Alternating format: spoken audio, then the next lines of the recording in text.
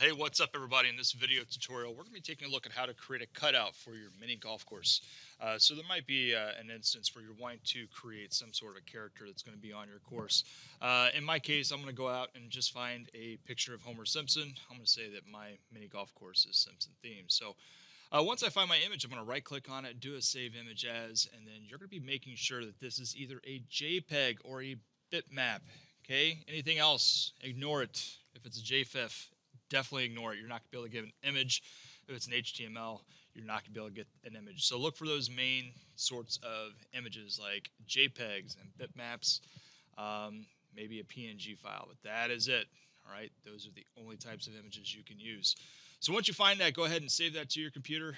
Uh, I've already previously saved this as Homer Simpson, so I'm going to go ahead and just cancel out of this.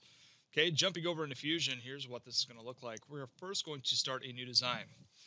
All right, this is where people screw this up, so make sure you're paying attention. All right, you have to find out what size you want your cutout to be. All right, so in my case, I'm going to say my Homer Simpson is going to be pretty large. It's going to be like five feet. So that means five feet times 12 inches would be 60 inches. So I'm going to first come out and create a sketch on a work plane. I'm going to draw a line. It's just going to be a reference line, okay, of 60 inches. All right, so there it is, 60 inches tall. That's how big my Homer Simpson is going to be. Okay, I'm now going to go ahead and finish that sketch, and I'm going to come in and insert a canvas. Okay, I can insert from my computer, go out and find my Homer Simpson.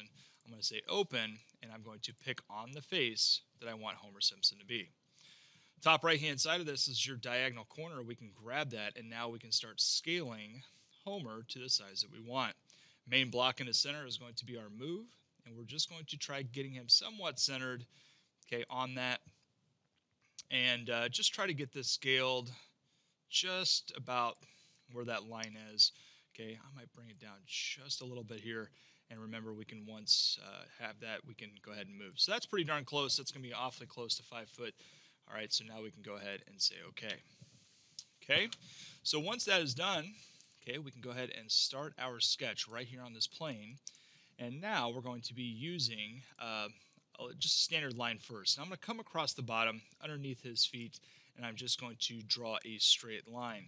We're doing that later because after we extrude that, that's going to be giving us a joint origin since it is a flat surface. Once that is done, we can now use spline. Now with spline, everybody wants to get like every nook and cranny when it comes to characters. Do not do that because it's going to be harder for the next part, which is using decal. So instead, what I'm doing is, is just kind of coming around the outside of this. All right, I'm just avoiding making just a standard board with something that's glued on it. I am going to give it a little bit of a profile. Okay, so I'm almost done with this with spline. And I'm going to come right down here to the end of that line, right click and say OK. All right, so there is my spline. I can now go ahead and finish this. I can look at this in a home view, and now I can go ahead and extrude what that profile is. All right, so obviously this is saying this is going to be 15 inches thick. We don't want it that thick, okay? I'm going to say in my case this is going to be 2 inches. I'm going to go ahead and say okay on this. All right, and that canvas is transparent, okay, showing us kind of where that's going to be. So I'm going to go ahead and shut off that canvas. I'm now going to go ahead create a new sketch on the front of this, okay, and now I can go ahead. Nope, I don't want to do that let's jump out of this. Now I'm going to insert a decal.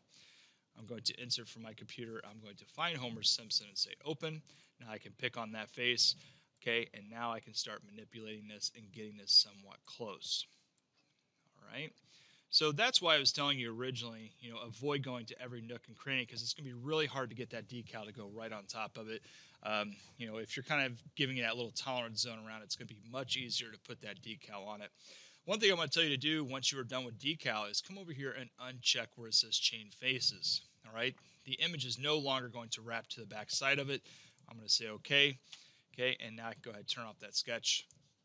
All right, and there we go. We have Homer Simpson uh, at approximately about five feet tall. Okay, at this point, we could then come in, okay, change our physical material. You know, you could put some sort of a plastic on it if you want.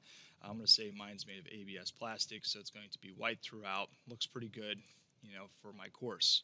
Okay, and like I said before, since we have a flat edge here at the bottom or a flat face, now we're going to have options for joint origins. You would not see that if you were using spline all the way throughout the bottom. It's going to be much more difficult uh, to join that. So there you go. That's how you create a cutout um, with the help of canvas and decal uh, in Fusion 360 for your miniature golf course project. Good luck.